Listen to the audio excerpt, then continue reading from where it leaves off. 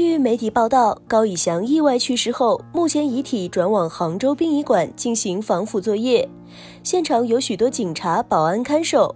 经纪公司确认高以翔周一可以回台，如果飞机时间可以的话，应该会是周一下午。据悉，他将长眠金宝山墓园，与邓丽君、严凯泰当邻居，一路走好。希望高以翔爸爸妈妈节哀，也希望他在另一个世界可以开开心心的做他想做的事、想做的人。非凡娱乐实时报道。